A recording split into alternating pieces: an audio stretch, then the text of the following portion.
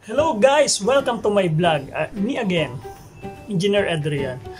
Ngayon, pag-uusapan naman natin ngayon ang pagdating sa investing. Investing dahil tapos na tayo sa goals, tapos na tayo sa budgeting. Ngayon, halimbawa lang na wala na lahat ng utang mo, wala ka na magaling ka ng mag-budget, may savings ka na eh. OFW ka, mapera ka na. Sabi nila. ngayon, nag-iisip ka ngayon, kailangan kong mapalugo ang aking pera. Mag-iisip ka na ngayon ng pa-investment. Mostly, ang mga ino-offer sa mga OFW for investment ay ano? Condominium. O kaya ay house and lot. So, ano ang iisipin mo? It's either bibili ka ba ng condominium or house and lot. Pero before, before to buy something like that, wow, English na lang, hirap eh. Uh, bago ka mag-decide kung ano ba talaga ang bibilin mo, unang-una sa lahat na pag-usapan natin kanina, there is real estate tax. And also, hindi biro ang pera at commitment na kailangan mo ilagay para dito. Personal experience to at pasensya na sa mga matatamaan. Hindi ko intend na masira yung inyong company or ang inyong uh, sales or marketing strategy but this is only for my own personal experience.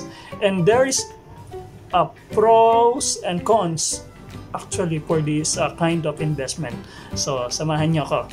Ngayon basahan natin yung blog galing kay philpropertyexpert.com so nakita niyo sa screen natin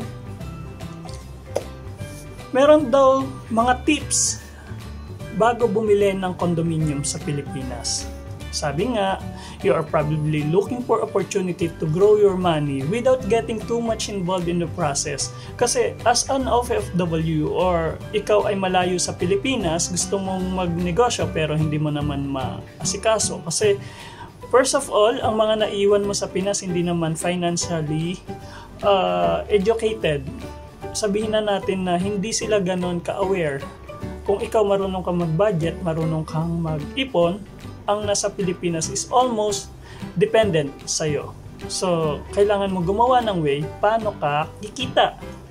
So, isa sa nakikita nating pwedeng gamitin na vehicle para sa pag-invest ng money is yung hindi mo masyadong binabantayan, which is the rental properties, which is also using as a condominium properties. So, tingnan natin yung mga tips bago ka bumili. Huwag ka agad magpadala na, ha, ah, mura to, maganda location nito, maganda developer nito, which is true naman talaga. Kasi, honestly, ang aking condominium ay nakalocate sa prime location, which is in Makati. And also, there's a very nice price for the renters. Um, nagre-range siya ngayon ng 25,000 per month sa renta na nakukuha ko. And ang aking monthly naman sa bangko is 29,000. So it's around 4,000 pesos per month ang aking kailangan bayaran at the same time sa akin napupunta ang property. I-elaborate at i-explain ko pa siya further. So go back to the tips before buying a condo in the Philippines. So kasi maraming natatakot din sa honestly, matatakot ka talaga dahil mahal mahal talaga ang property uh, investment. So number one, stop thinking too much about the location. Kasi importante naman talaga ang location. Pero remember, sila ay mga real estate developer. Bago pa sila magtayo ng condominium dyan, especially kung that is a uh, kilalang real estate, uh, uh, real estate or uh, developer. For example, Robinsons, Ayala, uh, SMDC, meron na po yung feasibility study na pinag-aralan ng location, ang mga uupa, andun na yan. So, wag nyo nang isipin. Hindi po sila, sabi nga dito, Beside, establishment and trusted condo developers are not stupid to build their condo project at location where no one will be interested. As I said, pinag-aralan po nila yan. Katulad po ng aking uh, unit sa Makati, ang target po nila is mga businessman and mga uh, high high uh, matataas na sahod na mga tao ang magre-renta.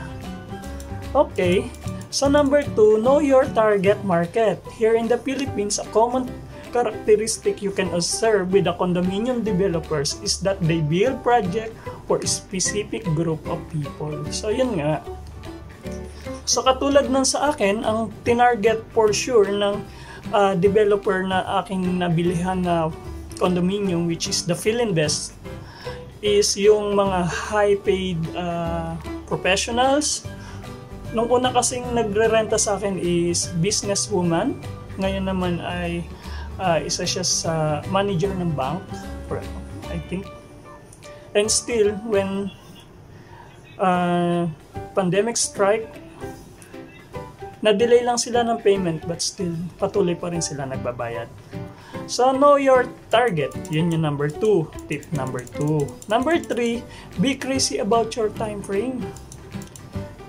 You've done your research and you identified the right market for you to target whatever kind of one you are choosing. You are already sure that you get the biggest bang for your bucks. So now, the next thing you have to consider is when to actually approach. Offer him your property. Alright? So, I think ang gusto niyang i-explain dito is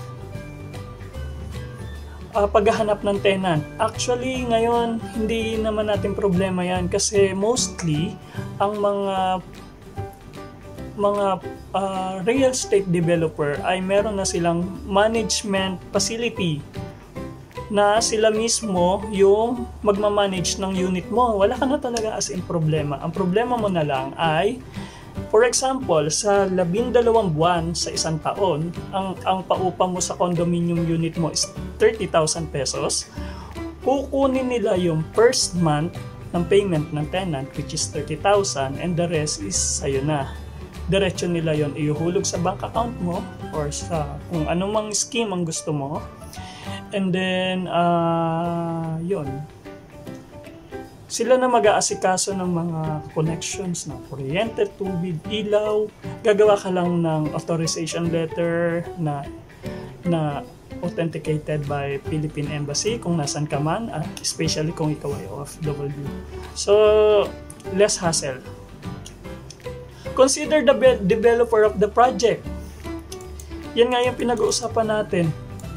Dapat hindi ka kukuha ng unit nang hindi kilala sa company XYZ nag-promise na, ah, may tatayo kaming condominium unit dito sa ganto sa Ayala.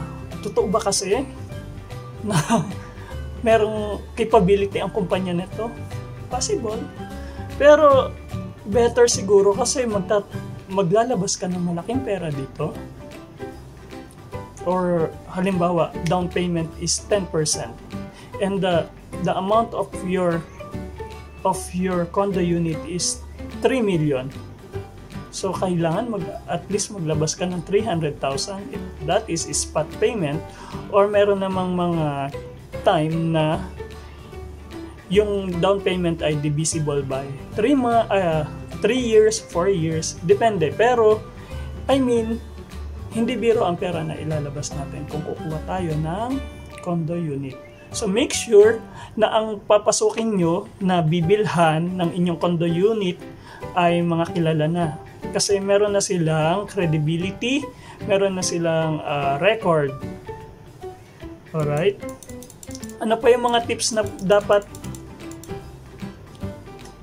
dapat ay consider natin pagkuha ng condominium? Know your payments financing options. So, ayun. For example, meron kasi na ang nangyayari, babayaran mo lang yung down payment ng condominium, pwede ka na mag lumipat. Considered as sa'yo na yung condominium unit, which is called turnover key or turnover. Kaya kung naririnig nyo, kadalasan, halimbawa, na turnover na ba sa'yo? Ibig sabihin, naibigay na ba sa'yo yung unit? Even though, kung bayad mo na yung 10% nun or yung 20% na down payment nun, pwede mo na siyang parentahan, pwede mo na siyang gamitin, at pwede mo na siyang uh, sabihin sa'yo. Kaya lang, uh, paano yung remaining 90 or 80%? Yan eh, iisipin mo pa kung makakautang ka ba sa bangko, makakautang ka ba sa in-house, o meron ka bang 80%, halimbawa kung 1 million, ang unit ng condo mo, meron ka bang 800,000 after the turnover? Yon, so kailangan mo yon i-consider. Lalo na kung meron ka bang record ng pag-utang dati na hindi ka na pwedeng umutang ngayon, hmm, hindi ka na makakautang, di ba? Sayang naman yung down payment mo. So pag-isipan nyo po ito as a tips Number 6, develop a long-term plan. So ayan, we are talking about serious business here. Real, real estate is a serious business and things like this required long-term commitments. This is this is if you want continuous and compounding profits or income, buying your first condo unit is just the first step. You don't stop from there. If you want real if you want real success, success and the best way to keep going forward and never get lost is by following a long-term plan. So, English, paigsiin natin. Kapag ikaw nag-decide kumuha ng unit ng condominium, lagi na sa utak mo na tatapusin ko to. Kasi sayang ang inilabas mong pera, hindi mo na to mababawi. Or kung mabawi mo man siya, hindi na yung actual na pera na ipinasok mo. Isa pa, uh, hindi mo siya basta-basta sasabihin, ay ayoko na, hindi na ako, hindi ko na itutuloy. Kailangan meron kang, ano ba ang paggagamitan mo ng condo? Is it for your own, uh, tawag dito? Personal uh, na gagamitin mo siya pang sayo o pang paparentahan mo. So, pag-isipan mong mabuti kung para saan ang ang kukunin mong unit. On my side, hindi ko siya titirhan, hindi ako city boy. Isa akong probinsyano at ayokong ayokong na tumitira sa city. I don't have a choice lang kasi dito sa UAE or Abu Dhabi, uh, sa city ako nakatira pero hindi ko ipagpapalit ang buhay ko sa probinsya. So, for me, ang condominium is just for uh, kind of investment at the same time as asset, lalo na kung mangungutang ka.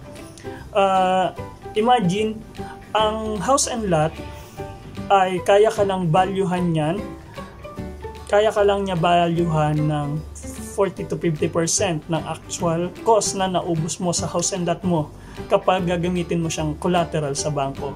Pero alam niyo ang condominiums, lalo na kung well-maintained at maganda ang developer record, pwede siya at at least 70% of the current value rate. Ano ibig sabihin nun? Huwag na tayo maging technical masyado, no? Halimbawa, ang condominium today sa area ng Makati is 1 million, halimbawa lang. Gusto mo mangutang sa bangko kasi gusto mo magtayo ng, ng business. 70% of that, yung bangko, yun yung assess niya. 700,000 pesos ang ipauutang ko sa iyo kasi condominium ang ginawa mong collateral. Unlike ng house and lot, it's around 40 to 50 to 60% So imagine that. So kung gusto mong gamitin as collateral ang condominium, bingo for you. And then number three, uh, number seven, keep yourself update. This is keep you in the known of what's currently hot and what's not. Part of keeping a good long-term plan is updating your plan as you go along. Make sure plan adapt to the changes in the market. Ito lang ah, tip lang. Meron akong nakuhang pre-selling condominium sa Ortigas. And that was way back 2016. And then ngayon, dahil si Duterte, Pangulong Duterte ang naging presidente natin, magkakaroon ng subway.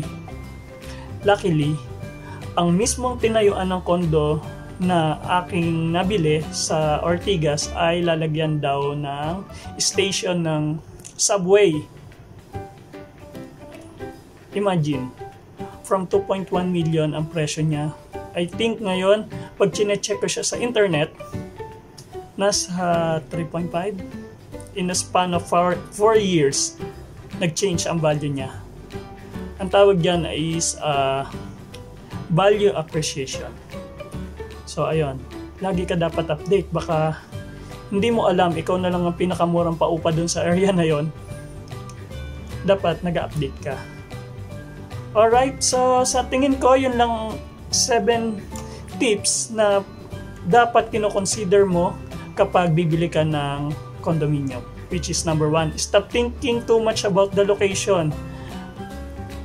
Ginawa na yan ng mga real estate uh, developer. Nag-feasibility studies na sila. Number two, know your target market. Which is, I think, kaya nang i-cover yan ng, ng real estate agent mo. Number three, be, be crazy about your time frames So, dapat alamin mo kung hanggang kailan mo lang babalak ang pag-own mo ng condominium.